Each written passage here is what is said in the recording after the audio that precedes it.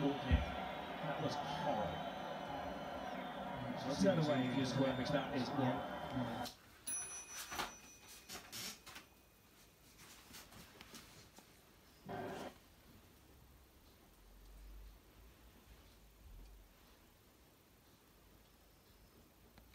Mental collision. Then what happens? It's an accidental collision.